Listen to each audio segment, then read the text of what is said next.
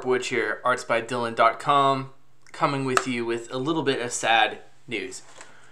One of the founding members of National Lampoons, which created some of the greatest movies of all time, including one of my favorites, Animal House, P.J. O'Rourke, the author of this book, uh, died today, on Tuesday, February 15th, 2022. He was 74 years old.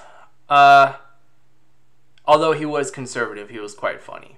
And even though I might be too young to remember him on television during the 1990s, he oftentimes had the Stephen Colbert esque satiric personality. Uh, that was great. And he was a very fascinating writer and entertaining writer.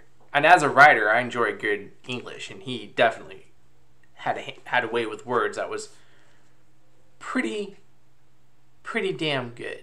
So, this one, for example, is a book I picked up of his Modern Manners by P.J. O'Rourke, the etiquette book for rude people. And this book came out in 1989. Now, I should tell you, I have not read every single manners in here, but however, all of them are good. He's a fantastic satirical writer, and manners books, books on manners, as I say, Emily Post, or as the Kingsmen say, manners make it the man. P.J. O'Rourke wrote a book on manners. And this is just the introduction, page one, not even page one. Manners. Why have the things at all? This is how it begins. The modern world is horrid is a horrid place. It lacks anything enduring and true. It is devoid of every tenable value. All existence is in disarray. Religious beliefs are no longer believed. Love is much discussed but little practiced. Morals are in confusion when they are in evidence at all. And intellect is no consolation. Modern intelligence has become well nigh intelligible. Given that life is such a mess, why should anyone care which fork is for oysters? And yet, this may be the only thing that we can care about.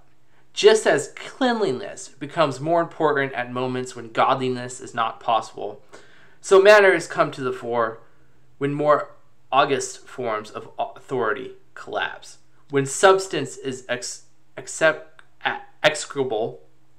me, uh, we must make form we must we must make for, form to do the work of content. The world is going to hell. All we can do all we can do is look up on the trip. I kind of stumbled there at the end, but yes. The world has gone to hell.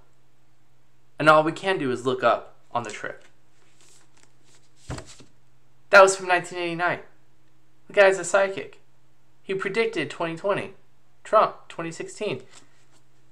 This book, P.J. O'Rourke, fascinating, hilarious read. If you pick it up, highly suggest it. Modern Manners. I'll just flip to a random page here. Like I said, I haven't read it all. But, uh, let's see. Advice for Modern Women, page 87. The social role of women has undergone a radical change in recent years. This is a result of feminism, and feminism, feminism, feminism is a result of a few ignorant and literal minded women letting the cat out of the bag about which is the superior sex.